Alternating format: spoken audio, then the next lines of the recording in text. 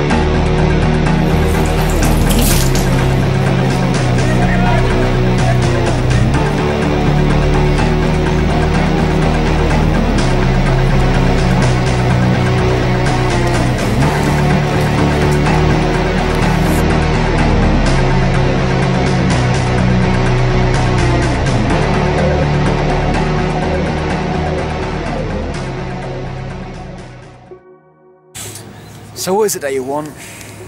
As much as you're capable of giving. Are you listening? You're the sort of guy who attracts the sort of admirers no one wants.